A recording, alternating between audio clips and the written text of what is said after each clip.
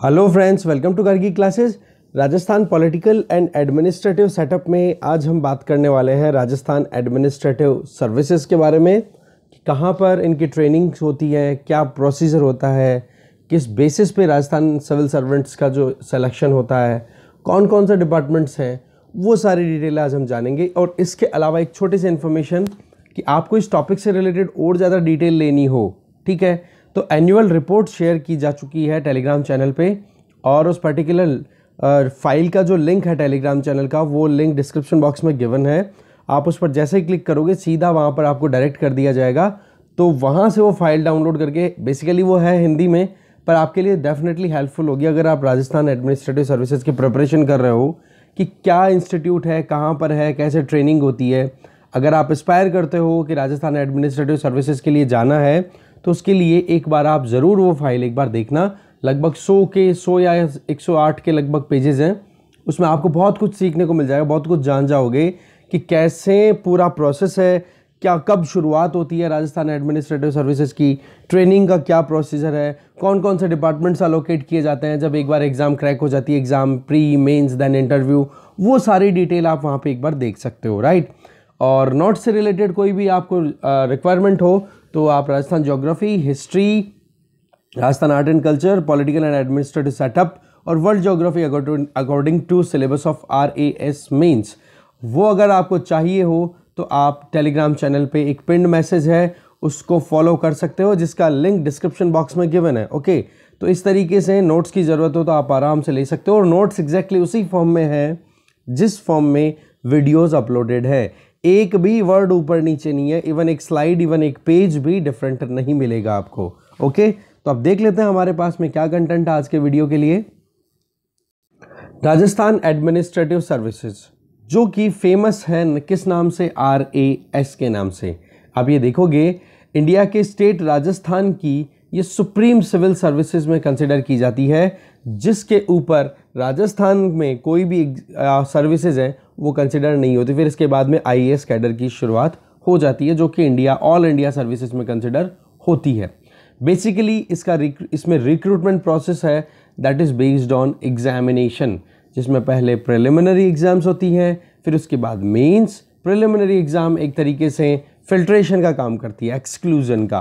Mains में analytical approach check की जाती है और इंटरव्यू में पर्सनालिटी चेक होता है। फिर उसके बाद में जो इंडिविजुअल होता है, वो फिर ट्रेनिंग के लिए चला जाता है। ट्रेनिंग स्कूल में। और इस ट्रेनिंग स्कूल को बोला गया ऑफिसर्स ट्रेनिंग स्कूल जिसको स्टैब्लिश कर दिया गया था फोर्टीन नवंबर 1957 को। और कहाँ पर? जोधपुर में। आप देखोगे कि ये जब ट्रेनिंग सेंटर स्टैब्लिश कर दिया तो इसके दो साल बाद में ही यहाँ पर ट्रेनिंग स्टार्ट हो गई थी जो भी सिविल सर्वेंट्स थे राजस्थान लेवल के, उनको ट्रेनिंग देने के लिए। ये जो ऑफिसर्स ट्रेनिंग सेंटर जो है, इसको फिर बाद में 1963 में ट्रांसफ़र कर दिया गया जोधपुर से जयपुर में। तो एट प्रेजेंट ये जो ट्रेनिंग सेंटर है, ये कहाँ पर लोकेटेड है? जयपुर में। अच्छा 1969 में ये जो ऑफिसर्स ट्रेनिंग ट्रेनिंग स्कूल था, इसका नाम चेंज कर दिया गया और दे दिया गया क्या? Harish Chandra Mathur state institute of public administration okay फिर उसके बाद में 1983 में इस इंस्टीट्यूशन का नाम थोड़ा सा और एमेंड कर दिया और नाम एड नाम में राजस्थान और ऐड कर दिया गया। तो अल्टीमेटली नाम बन के क्या हो गया? Harish Chandra Mathur, Rajasthan state institute of public administration ठीक है? इसको आप बोलोगे H C M RIPA R I P A तो एच सी एम रीपा के नाम से फ़ेमस है ये थ्रू आउट कंट्री अब हम देख लेते हैं कुछ इंपॉर्टेंट ऑब्जेक्टिव्स कि क्यों ये इंस्टीट्यूट स्टैब्लिश किया गया। देखो पब्लिक सर्वेंट्स या पब्लिक ऑफिसर्स को ज़्यादा से ज़्यादा रिस्पॉन्सिबल बनाना और उनकी अकाउंटेबिलिटी ज़्यादा से ज़्यादा इंश्योर हो सके, उसके लिए उनका जो माइंड सेट है, उसको प्रिपेयर करना, जिससे कि पब्लिक सर्विसेज़ की जो एक्सपेक्टेशंस हैं, वो फुलफिल की जा सके। Number one this was the objective number one इसके अलावा, जो भी इंडिविजुअल सेलेक्ट होता है राजस्थान एडमिनिस्ट्रेटिव सर्विसेज़ में तो उसकी फिर बाद में स्किल डेवलपमेंट हो। इससे क्या होगा कि वह गवर्नमेंट की हेल्प कर सके, अपने एक्सपीरियंस अपने नॉलेज अपनी अपनी खुद की जो पर्सनैलिटी है, उसकी बेसिस पे कि पॉलिसी कैसे फॉर्मुलेट हो और कैसे उसको प्रॉपरली इम्प्लीमेंट किया जा सकता है। तभी तो पब्लिक सर्विसेज़ पूरी होंगी। तो ये एक ऑब्जेक्टिव और है। इसके अलावा ये जो इंस्टीट्यूट है, जो Harish Chandra Mathur, Rajasthan state institute of public administration H C M RIPA. इसका मेन काम क्या है? एक लीडरशिप प्रोवाइड करना।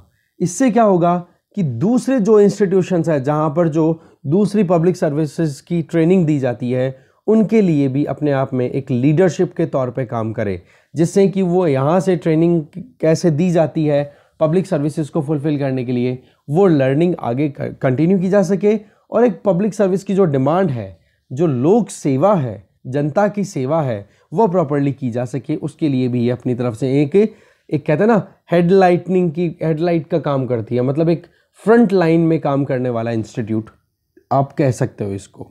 इसके अलावा, यहाँ पर एक इंस्टीट्यूट अलग से चल रहा था जयपुर में, जो कि अकाउंट्स से रिलेटेड ट्रेनिंग दी जाती थी। उसको हम बोलते थे accounts training school A T A C T S okay उसका मर्जर कर दिया गया था। हरीश चंद्र माथुर, राजस्थान सॉरी ये 1979 में हो गया था। तो राजस्थान तो ना बोल करके हम बोलेंगे इसको।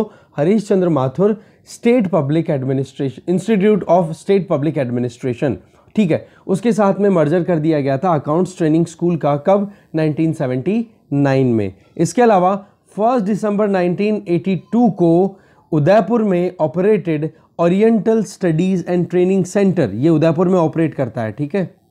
उदयपुर में। आप याद रखना इसको कि oriental studies and training centre ये कहाँ पर है इसका मतलब लोकेशन तो इसका उदयपुर में है। तो ये इंस्टीट्यूट का, इस इंस्टीट्यूशन का भी मर्जर कर दिया जाता है फ़र्स्ट दिसंबर 1982 को। किसके साथ में?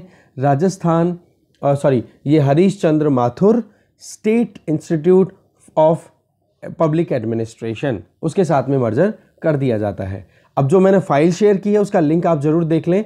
बाकी हम देख लेते हैं कि कौन कौन से सर्विसेज़ की ट्रेनिंग दी जाती है यहाँ पर, जिसे हम बार बार बोल रहे हैं H C M Harish Chandra Mathur RIPA Rajasthan state institute of public administration ठीक है, अब देख लेते हैं पूरी डिटेल कुछ इंपॉर्टेंट सर्विसेज़ की। बेसिकली मुझे रिपोर्ट जो मिली, वो 2017 की थी तो कोई नहीं, हमारे लिए इंपॉर्टेंट चीज़ है कि कौन कौन सी सर्विसेज़ की ट्रेनिंग यहाँ पे दी जाती है। नंबर वन राजस्थान प्रशासनिक सेवा, Rajasthan administrative services number two Rajasthan लेखा सेवा that means Rajasthan accounts R A C S ठीक है?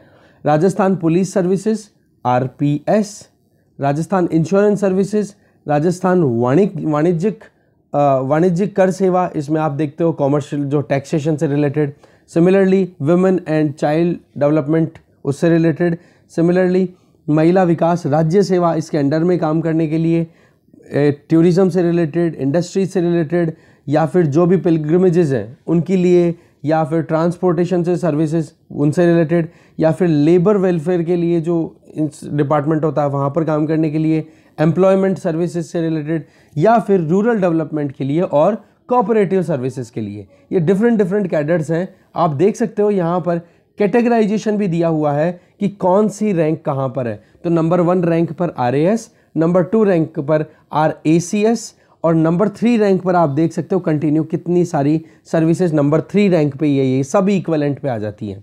इसके अलावा जोधपुर, उदयपुर यहाँ पर भी अलग अलग तरीके की ट्रेनिंग्स प्रोवाइड की जाती है। जैसे कि यहाँ पे आप देख सकते हो, राजस्थान वाणिज्यिक कर सेवा के प्रशिक्षक अधिकारियों के लिए आधारभूत प्रशिक्षण। मतलब जो लोग कॉमर्शियल टैक्सेशन से रिलेटेड सर्विसेज़ में अपॉइंटेड हैं, उनके लिए ट्रेनिंग प्रोवाइड करना। ये 23 डेज़ की थी। ये डिटेल बेसिकली 2017-18 के से रिलेटेड है। तो आप एक बार देख सकते हो, ये ज़्यादा इंपॉर्टेंट नहीं है। ऊपर वाला जो पोर्शन था, वो ज़्यादा इंपॉर्टेंट था। इसके अलावा यहाँ पे देख सकते हो, राजस्थान अधीनस्थ मतलब सबॉर्डिनेट जो सर्विसेज़ होती हैं, उनके जो ऑफिसर्स हैं, उनकी ट्रेनिंग सिमिलरली जो वरिष्ठ प्रारूपों के लिए आधारभूत मतलब जो सीनियर कार्डर के जो लोग हैं राइट उनको ट्रेनिंग देनी, या फिर जो कनिष्ठ मतलब जूनियर कार्डर के जो लोग हैं, उनको जो ट्रेनिंग प्रोवाइड की जाती है, वो उदयपुर, जोधपुर में भी प्रोवाइड होती रहती है। तो ओवरऑल हमने अभी इस वीडियो में जो देखा वो कंटेंट था राजस्थान एडमिनिस्ट्रेटिव सर्विसेज़ से रिलेटेड नोट्स के बारे में सारी इन्फॉर्मेशन आपको दी जा चुकी है। अच्छा अब राजस्थान स्टेट सर्विसेज़ में जो लोग काम करते हैं, उनके अगेंस्ट में अगर कोई मुद्दा आ गया है तो उस मुद्दे को सॉर्ट आउट करने के लिए राजस्थान या फिर कह सकते हो जो स्टेट एडमिनिस्ट्रेटिव ट्रिब्यूनल सेट जिसको बोलेंगे, वो स्टैब्लिश्ड है। जो कि अगर एडमिनिस्ट्रेटिव सर्विसेज़ में जो भी एम्प्लॉय काम कर रहे हैं, जो भी सर्वेंट सिविल सर्वेंट्स हैं, उनकी फंक्शनिंग में अगर कोई इशू आ जाता है तो उनको सॉर्ट आउट करने के लिए। तो ये प्रोविज़न आप थोड़ा सा जाएँगे आप आर्टिकल 340 323 ए और 323 बी जो कि forty second constitutional amendment act of Indian constitution that was introduced in 1976 during emergency period इसमें ये जो एडमिनिस्ट्रेटिव ट्रिब्यूनल्स हैं, ये इस्टेब्लिश करने की बात की गई थी। और आप देखोगे आर्टिकल 323 इसके अंदर आप देख सकते हो सेट स्टैब्लिश करने का प्रोविज़न किया हुआ है। इसमें क्या होता है कि सिविल सर्विसेज़ स्टेट लेवल की सिविल सर्विसेज़ में अगर कोई आ रही है डिस्क्रिपेंसी कोई प्रॉब्लम आ रही है, किसी सिविल सर्वेंट ने कुछ गड़बड़ की है तो उनको सॉर्ट आउट करने के लिए सी state administrative tribunals set establish किए जा रहे हैं डिफरेंट डिफरेंट स्टेट्स में ओके तो बेसिकली हमने सारी इन्फॉर्मेशन गेन कर ली है राजस्थान एडमिनिस्ट्रेटिव सर्विसेज़ से रिलेटेड और बाकी आपको वीडियोस कंटिन्यू ऐसे ही मिलते रहेंगे। और कोई डाउट हो तो कमेंट बॉक्स में लिख सकते हो। बाकी नोट्स की इन्फॉर्मेशन आपको वीडियो की शुरुआत में मिली गई है ओके और करंट अफेयर के लिए आप फॉलो कर सकते हो इंडियन एक्सप्रेस का एडिटोरियल और साथ में अगर सिविल सर्विसेज़ की प्रिपरेशन आप कर रहे हो डेफिनेटली आपको फॉलो करना चाहिए।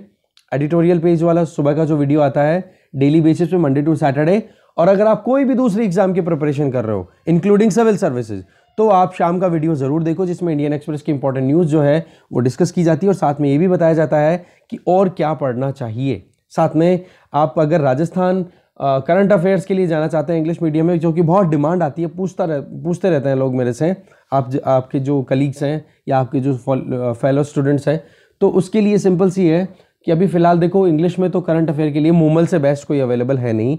तो मूमल की मैगजीन आती है बाई मंथली मैगजीन दो महीने में एक बार तो आप उसको फॉलो कर सकते हो ईजिली अभी मैन पावर की कमी है that's why I am not able to give you that current affair okay तो आप थोड़ा सा वहाँ पर मैनेज कर लो। आइडिया मैंने आपको दे ही दिया है। बाकी जो चल रहा है वो कंटिन्यू रहेगा ही।